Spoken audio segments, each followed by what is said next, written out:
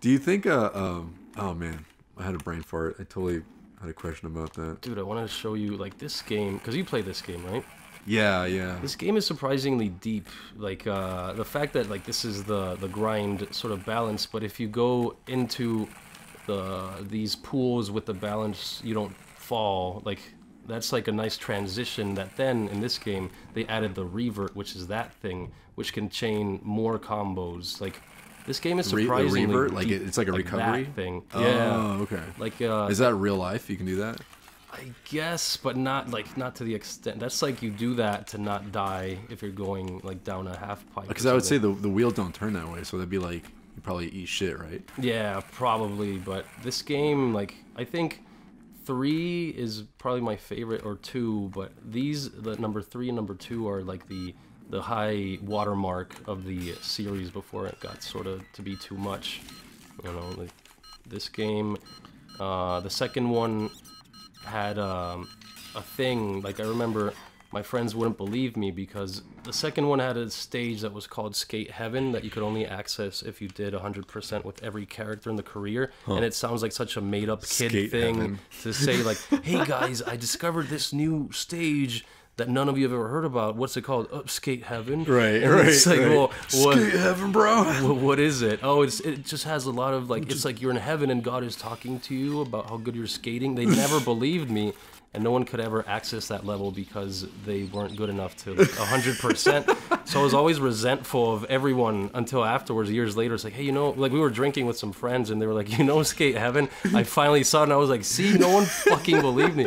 Everyone thought it was my childish imagination and uh, wanting to be accepted by making up shit in high school. That was other things. That was like, oh, there's a there's a, a beehive in uh, underneath the classroom, you know. Right, dude. I knew a guy who was like, he seemed like a cool guy, except he always always telling stories like, man, this one time I got shot.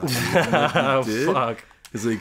He was telling a story about how he went fishing and like the fish was so big that like the boat was sitting on top of the fish, like stuff that's like, dude, we're, Oh, we we're all like 16, like we all Oh, understand shit. that the I world it was like is eight-year-old tall tales, not that's- that's- 16-year-old. That's why I double take. I'd look at him like, dude, like we just came out of like AP chemistry. Like, are you serious right now? But he was. He was. I- Oh, to be fair, he wasn't in my AP chemistry class. Now that I'm thinking about it. But yeah, I was. It was just felt weird that another person my age was like. Man, you know what? Like, I fucking know like most styles of kung fu. I'm like, cool, dude. all of them. Like, yeah. You name it, I know it, bro. And then if you want him to show you, it's like, well, I can't right now because my sensei told Dude. me to. my sensei. dude oh my god like i just remembered we i remember um, i was involved with the church when i was in high school and they did this function once in a in a neighborhood that i was close to where it was kind of like a you know hey everybody get together grab people from the neighborhood like people that don't go to the church but you can still come by and have a hot dog like that sort of thing and uh, i remember um, there was this kid named Vincent who was like he must have been about uh, 220 pounds, a pretty big guy, but he was like you know maybe five inches shorter than me. You know he was five five five six or whatever, and uh, and he he I didn't really know the whole nerd gaming culture thing. Yeah. And he looks at me and he and he's like, "Hey man, what's up?" I'm like, "Hey, what's going on, dude?" And he's like, "Hey, uh, so do you game?" And I'm like, "Do I game?" Yeah, I, I like Command and Conquer and I you know Mario 64 and stuff. And he's like, "No, do you like you know game?" I'm like, "No, man. Uh, Yeah, I mean, sure." And he's like, "Here, follow me." And I'm like, "Okay." Follow me. And I, you know, I was a tender age of like 14, 13, and he he's probably a couple years on me. So I follow him to like uh, this this parking area in the apartment complex, and there's a van. I know this is, sounds like it's about to take a sour turn. Thankfully, it doesn't.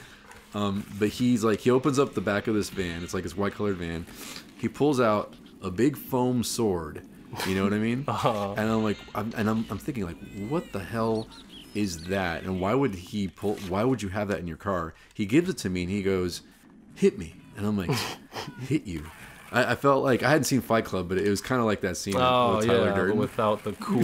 Except it was Vincent, it's fucking fat Vincent, being like, "Do you game?" Here, hit me. And I'm like, "Uh, all right, dude." And so I kind of give him a tap because it's I'm really awkward at this, at, like really weirded out and awkward at this point.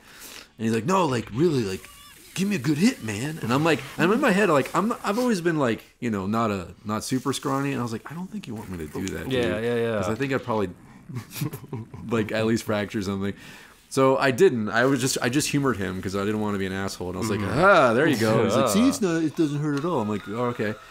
So he that was like my first foray into like the type of guy who likes Dungeons and Dragons and like LARPing and shit like that. Oh, Later in that evening, we meet a guy who um, who Vincent decided to pick over me in terms of who was going to be his new buddy that day, because this guy wore a, a kimono like all all day long. He had this weird face that looked like he had like tape constantly on kimono the- all day long. yeah, like those Japanese kimonos. Yeah, you know what I mean? He had bright red hair with a ponytail, really Oh, bad yeah, acne. He was Kenshin. He was totally Samurai X Rurouni Kenshin guy, of course. have yeah, except I just didn't appreciate it. I just thought he was a freak at the time. and like he's like uh his I don't even remember his name, but like he had that conversation with me that was like because I was I was studying uh, Hapkido, uh, which is a Oh. really cool like I only did it for a couple months, but I loved it. Um, and uh, we started, of course, we were, you know, like boys do. It's like, oh, I do taekwondo, I do karate. Yeah. I'm like, what do you do? And he's like, oh, you know, and he lists like 12 different ones. He's like, I do a little bit of that, a little bit of that, and a little bit of me.